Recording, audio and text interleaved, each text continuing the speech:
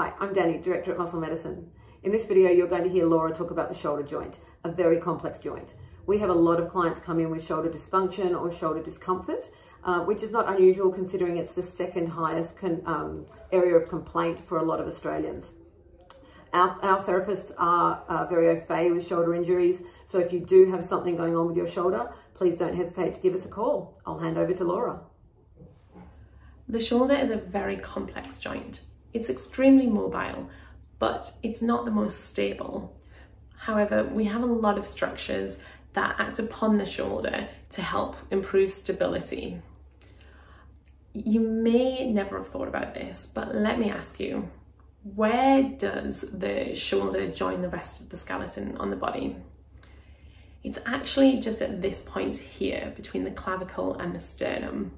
So we have the muscles and bones of the hand, the two bones in the forearm and all the muscles go along there, as well as the humerus, the shoulder blade, and the clavicle, all hanging off just this little joint here. So that's a lot going on. Let's talk about some of the muscles. We'll just do a top line of muscles here because there are many more, but for now, we don't need to go into that much detail. You have the lats that go from the hip up and into the arm. We've got the rotator cuff muscles that attach around the scapula, also known as your shoulder blade, and into the top of the shoulder there. We have the pec muscles that go from the sternum into what we know as the shoulder.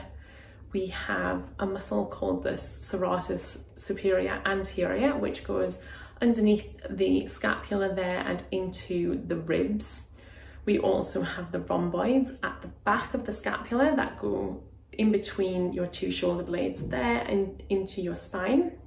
And we have the levator scapulae, which goes from the inside corner of your shoulder blade up around the neck, does what it says on the tin, it lifts your scapula, um, also known as your shoulder blade, and we have your trapezius muscles, which is actually quite a thin muscle, go down like a big diamond shape um, from the top of your, bottom of your head, sorry, into your, again, scapula and down in a diamond shape in towards the middle of your back.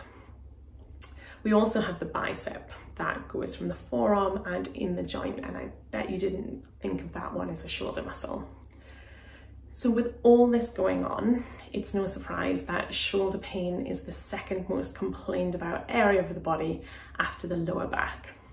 So it isn't easy to understand shoulder pain. There can be a host of reasons for it. Anything from injury, be it a tackle in sport that causes maybe a tear or a dislocation. It could be frozen shoulder, which is actually an autoimmune response of the body. It could just be poor movement from us that's causing gripping and bad habits and gets us stuck in a cycle of pain. Generally, most of the problems we see is from poor use and lack of stability. And so there's a great program of exercises that you can do to just help prevent shoulder pain and maybe take you out of it if you do suffer from a little bit of pain and you haven't had an injury and you can still move it. So these exercises will target the whole of the shoulder. It'll look at strengthening the muscles at the back, like such as the rhomboids that we discussed, and allow the shoulder to have great movement with using the shoulder blade in part of it, but not relying on the shoulder blade. At Muscle Medicine, we see a range of reasons for people coming in with shoulder pain. And it really isn't a quick fix or a one size fits all approach. So what we do want to do is focus on working with you to get you out of pain and have a long-term solution. So if you enjoyed this video, please comment, like, or share. And don't forget to subscribe to our channel for more exercises. Muscle Medicine Bodywork. Live your best life.